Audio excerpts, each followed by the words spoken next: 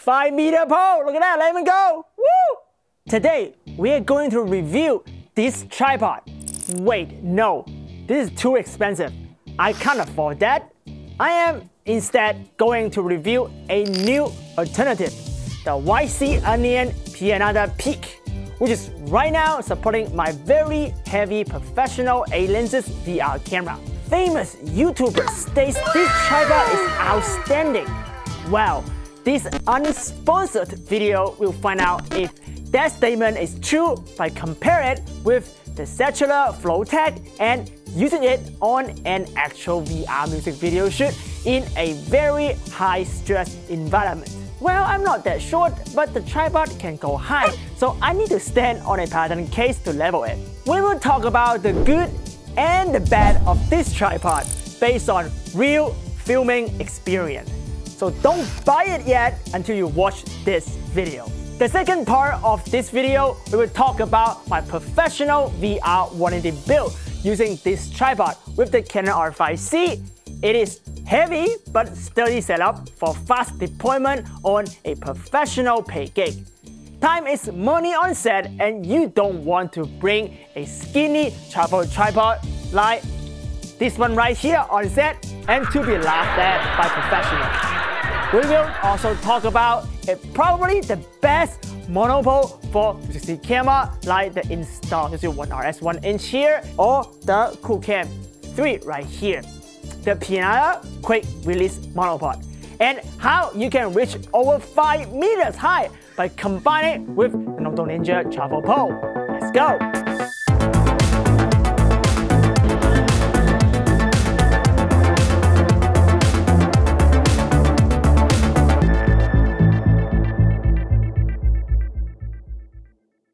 So one of the biggest selling point of YC Onion right here is it is very fast to deploy it. So let's compare it with also the brand new tripod right here is the small rig. So let's see how fast the deployment between these two left these two tripod right here. So let's start with the small rig. So let's just untie everything right here. Get it up.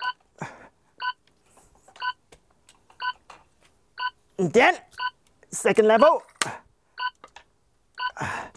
I can't reach all two legs together, so let's do one by one. Okay, now it's done. Pretty high. Put it aside. Now let's see how far is the YC onion, right?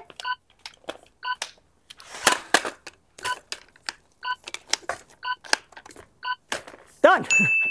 that is how easy to deploy YC onion. Just three lever, raise up, shake it, put it down, done. See how fast is it closing up? So everything close. Open all this lever right here. Drop down. Lock it. Boom. Ready to go. Right, kimchi? Pretty easy. This is actually not that bad. Do that. Untie all six of the handle. Just drop them in. It sometimes got stuck. Yeah, drop them in. Hold it.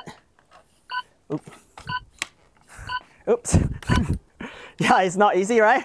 Uh, okay, and, and for the SmallRig, it actually have some leverage right here so you can lock it. Uh, kind of like the YC onion uh, lock right here. But let me just finish it. Boom. There you go. There's no handle, so you carry it like that. Okay. So a couple cool thing about the YC Onion here is the locking mechanism. So you put this button right here and just lock it. It's all locked. So you can't extend, you can't accidentally like open it. So it's really good for traveling. It's a heavy tripod, right? So you can grip it like here instead of grip it like here. Uh, but actually I to grip the handle because this is probably the easier way to grab it. So how to unlock it, you just pop it. And then you just open it up. Then you can push it back in to lock it. It's pretty sturdy. Now it's back to normal. YC Onion Pineta Peak basically borrows all the good design from Sachtler Flowtech. They both have a detachable carry handle, both feature one-stop quick release brakes. Flowtech actually does not have a bubble leveler on the tripod base itself, or at least this model. YC Onion has one which is crucial for level adjustment using the quick release central shaft like my install Lucid Titan heavy setup right here. Do be careful, the central shaft setup payload is only 8 kg, around 17 pounds, not 35 kg, 77 pounds, like the coconut ball head. So don't put your ARRI Alexa package on the central shaft using the ball head instead. Here's a quick spec side-by-side -side comparison. YC Onion can go lower and reach higher than Flowtech, it can carry a lot heavier payload than Flowtech, 15 kg more, and it is slightly lighter than Flowtech in weight. The biggest advantage is price. YC Onion is significantly lower than Sachtler. For budget-sensitive solo creators or filmmakers, YC Onion is definitely a better choice. Let's dive deeper on some unique feature of the YC Onion.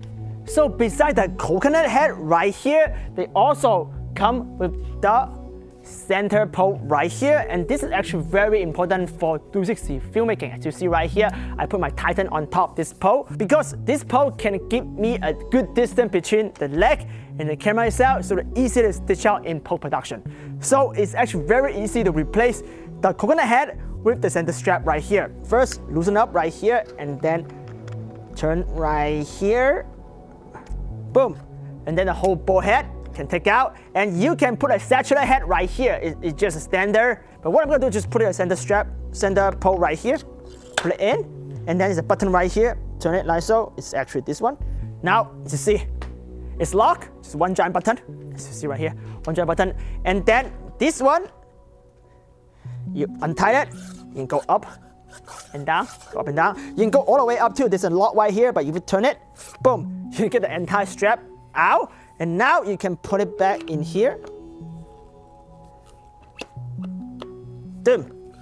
Now you can do low angle shot for 2D stuff. Now let's talk about my professional VR 1D setup. So I have my Canon R5C rig on a cage. This is the Falcam F22 cage. Rig it inside on a rail system, which I already did a review right here, why in a rail system. And I put the plate, two screw right here, 3A and 1.4 on the rail. Also, I'll put a battery on the back as a counterweight mm. because you need to power the camera to film in 60 frame in 8K. So, really easy. You pop that in, boom, lock it. Now, one hand on the handle, open all the lever, rise it up in the correct height. Look at the bubbler right here. You can also use a coconut head to level, right here, coconut head. Untie the lever, and look at the boy, look at, at the bubbler right here. It's level, lock it. If you want to adjust the tilt angle, like so, right? So you can just adjust like so. Now, this is my professional setup right here. And sometimes you just forgot your rail. For some reason, you don't want to use a rail system. YC Onions actually allow you to film just on the camera on a tripod. First, like try to move my camera all the way to the edge of the plate. The plate, again, you can slide in and out, right? Go all the way, max, where you can go, right there. And then, to, to film it, first untie the back leg. First, again, like make sure this is a pen head, right? Make sure the camera always points the center point of the two leg, right there. Lock it. And then untie this one, rise it up. Make sure that kind of, make sure that right this two leg it's like how level with the tripod, straight line, lock it. Because these legs are so good right here, they grip the ground really sturdy. So it's not, say my hand let go, it's not going anywhere. It's still like really solid, right? And now, turn the camera on. Untie it, level it. Boom. Hopefully you see on my screen, the leg is gone. This is my foot, right? The leg is gone. If you need more, just untie it a little bit more. Boom. Again, make sure the hand, but right now is front heavy, right? Level it. Front heavy, so don't let go your, your camera. So put a put a sandbag right here. This is a pretty thick post, so definitely put a tripod right here, or don't let go. But now you are kind of in a run and gun situation right now, right? So you don't have the, the long rail to just be in your way. You can film it without filming the leg right here because it's level with the camera, but you can just move around like so. Location right here, film it, done, stop recording, grab the camera, go, boom. It's a lot more convenient, not more, lot, lot more straightforward. By the way, you don't need to, not you don't only can level with the, this pen head right here. It's actually a more sturdy way right here. Look at that coconut head, untie it, boom.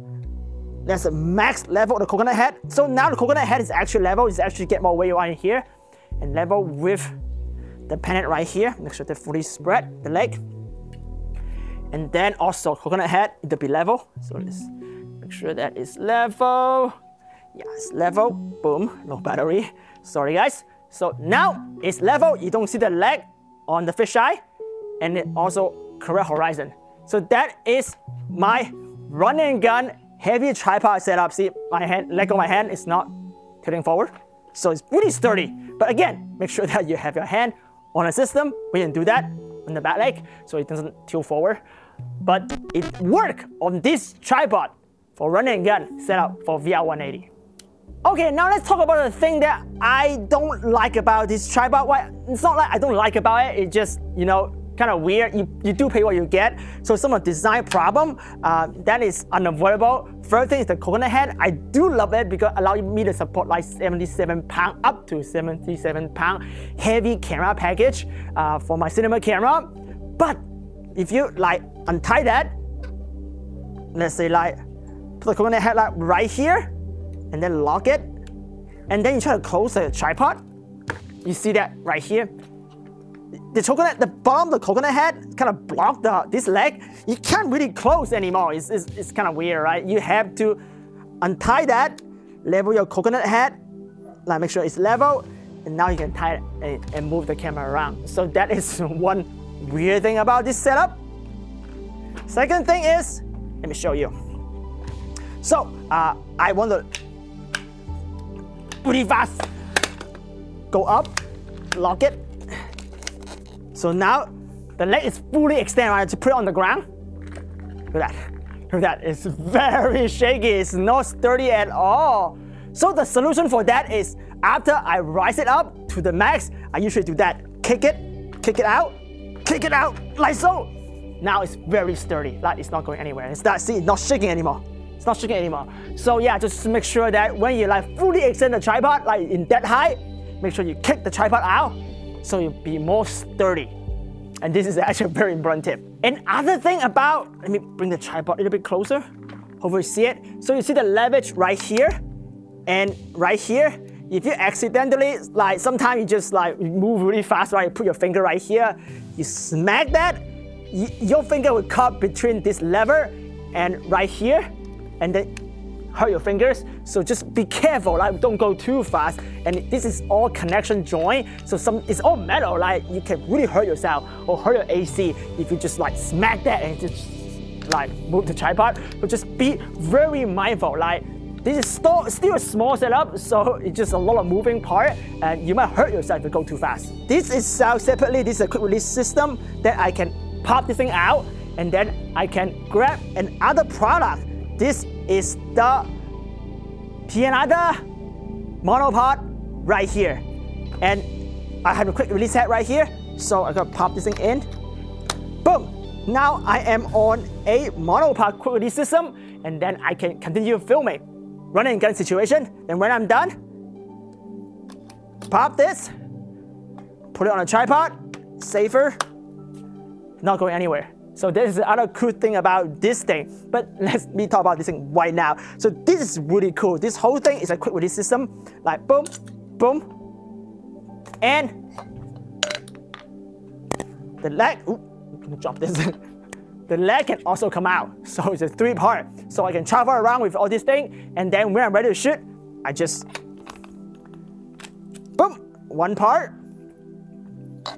second part, right here, upside down. And the third part is my VR camera. What I have here is the brand new QooCam 3. Uh, one thing about this thing, hopefully you see it right here, it have like See, have a 3A, but also have 1.4 height inside it. So I can put in the 1.4 of the QooCam right here. And then I will just, boom, quick release. If it's if you want facing like maybe that way, boom, not going anywhere. Dope, right? So if you want to go high, it's the cool part. Hit this right here, unlock, boom, boom. Put it down. Voila! This is a two meter pole right here. So you can do like, you can let go of your hand right now. It's pretty sturdy because it's a really thick pole. It's not going anywhere. It's really thick, right? So you can do time lapse, like 360 video. Uh, very important to have a sturdy system if you film 360 video, especially for 360 time lapse. So this is a great system to do exactly that. But just like every product, there's no perfect product. There is a problem. So the leg right here is actually connect with a ball head. So you can actually like go all around. It's great for 2D filmmaking, but for VR, you want to be perfectly level because you go high. If it's on this angle, the whole thing just fall down, right? So I actually would not recommend using their original leg. Luckily, you can just take it out. And then, by the way, you also take out top part. This now become a you know invisible selfie stick right here. Put this part down first, put the camera down first. So itself, this is a really thick sturdy carbon fiber monopole. And right here, you see right here, showing this camera as well, right here is a 3A screw right here with the metal round housing around it. So I can grab right here, this is my also very expensive Bushman monopole for my Titan camera, but I take the pole out. I'll just grab the base. The, the, this base is the bamboo base right here. Have the really big leg, okay, extend that. On top is a 15 pound weight, just like a sandbag, but instead of sandbag, it's a metal weight, and here is 3A. So put it down on the ground. Let me just step back so you can see it. Put it down on the ground. put the tripod out of the way. It's heavy. And then right here, I can just thread the 3N in. Boom. Now this is super sturdy. See, it's not going anywhere. Now I'll put the camera back on.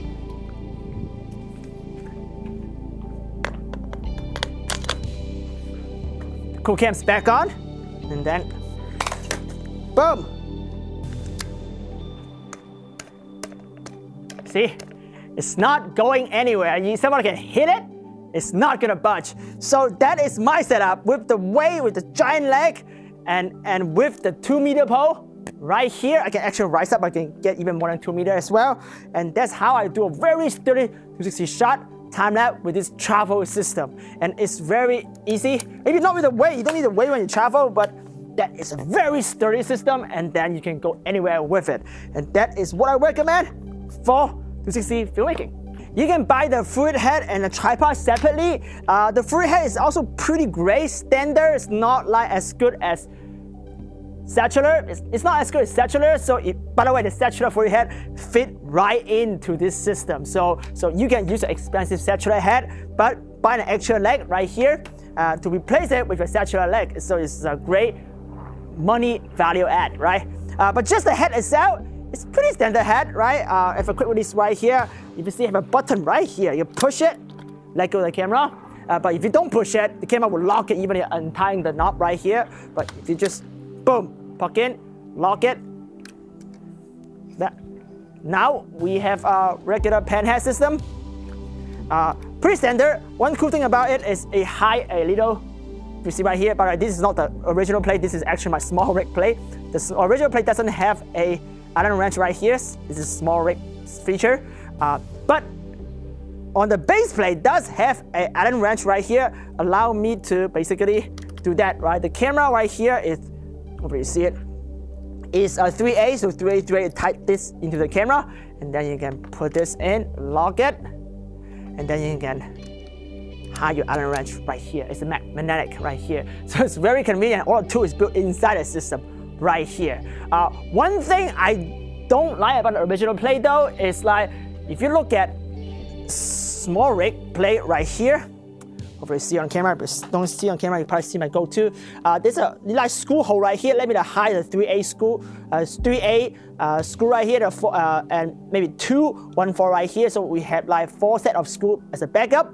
Uh, we don't have any of here. Here, I'll show you. So any plate to make me high screw, so two screw have to screw in the plate. Uh, so if I lost one, I lost one, I just don't have it. So that's one of the drawback. Both the small rig and the YC Onion is comparable with the DJI RS2 and RS3 right here. It's Just a button right here. You can swap between regular play, standard play, or if you have the uh, quick release from the DJI RS2, you can just use that, go straight into the tripod. So it's very convenient. As you see right here on both sides, at least on two sides, this side's handle, we have the RE security lock 1-4 screw right here. So I have 1-4 and 3A. So you can attach accessory. I will just did right there, attach my monitor right here to extend the whole system and build it even bigger. Thank you for watching this hands-on review of the brand new YC Onion Pineta Peak tripod right here and the Pianada monopod system right here. I am gonna bring this whole system to Rome because I gotta have a talk in Rome. So if you're in Europe, you wanna see me in person, I do put the sign up link down below. So go sign up and go meet me in person. If you wanna collab, hit me up on Instagram. Oh yeah, if you haven't followed me on Instagram yet, please follow me on Instagram, DM me there. If you have any question, I will answer it mostly faster on Instagram than on YouTube. Uh, again, if you're new here, uh, you found this valuable and help me save some money, buy or not buy this system, uh, do consider subscribing this YouTube channel. It helped me a lot if you subscribe and give this video a thumb up. So, until next time, I will see you virtually or I will see you in person in Rome or Meta Connect. Ciao!